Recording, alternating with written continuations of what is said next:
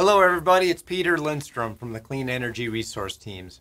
So, you're a nonprofit, or a city, or a county, or a school. You're a non tax paying entity, and you're interested in doing a renewable energy project or purchasing an electric vehicle.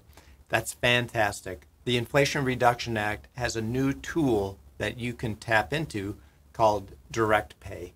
It's amazing. 30% of the project uh, can be paid for via the federal government uh, through this direct pay option. Typically, how these projects have been paid for in the past uh, have been through a tax equity uh, partner. And you can still do that if that's the way that you wish to, to go.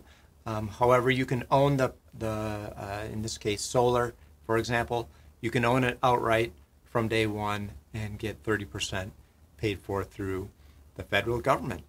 Eligible technologies, solar, storage, geothermal, combined heat and power, even uh, electric vehicles, as I mentioned, uh, clean, uh, commercial clean vehicles, EVs.